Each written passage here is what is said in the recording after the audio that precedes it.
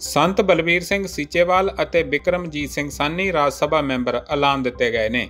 ਤਿਆਰ ਹੈ ਕਿ ਆਮ ਆਦਮੀ ਪਾਰਟੀ ਨੇ ਇਹਨਾਂ ਦੋਵਾਂ ਨੂੰ ਪੰਜਾਬ ਤੋਂ ਰਾਜ ਸਭਾ ਲਈ ਉਮੀਦਵਾਰ ਬਣਾਇਆ ਸੀ। ਪਰ ਇਹਨਾਂ ਦੇ ਮੁਕਾਬਲੇ ਕਿਸੇ ਵੀ ਹੋਰ ਉਮੀਦਵਾਰ ਨੇ ਕਾਗਜ਼ ਨਹੀਂ ਭਰੇ ਸਨ। ਇਸੇ ਦੌਰਾਨ ਅੱਜ ਰਿਟਰਨਿੰਗ ਅਫਸਰ ਸੁਰਿੰਦਰਪਾਲ ਸਿੰਘ ਨੇ ਸੰਤ ਬਲਬੀਰ ਸਿੰਘ ਸੀਚੇਵਾਲ ਅਤੇ ਬਿਕਰਮਜੀਤ ਸਿੰਘ ਸਾਨੀ ਨੂੰ ਰਾਜ ਸਭਾ ਮੈਂਬਰ ਵਜੋਂ ਪ੍ਰਮਾਣ ਪੱਤਰ ਸੌਂਪ ਦਿੱਤਾ।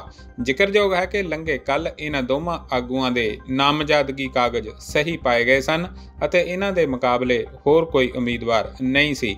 ਇਸ ਕਰਕੇ ਪਹਿਲਾਂ ਹੀ ਸੰਤ ਸੀਚੇਵਾਲ ਅਤੇ ਸਾਨੀ ਹੋਰਾਂ ਦਾ ਰਾਜ ਸਭਾ ਮੈਂਬਰ ਚੁਣਿਆ ਜਾਣਾ ਯਕੀਨੀ ਹੀ ਸੀ। ਇਸ ਦੇ ਚੱਲਦਿਆਂ ਹੁਣ ਪੰਜਾਬ ਦੀਆਂ ਸਾਰੀਆਂ 7 ਰਾਜ ਸਭਾ ਸੀਟਾਂ ਆਮ ਆਦਮੀ ਪਾਰਟੀ ਦੇ ਖਾਤੇ ਵਿੱਚ ਚਲੀਆਂ ਗਈਆਂ ਹਨ। Bureau report. Please subscribe Pravasi TV and press the bell icon.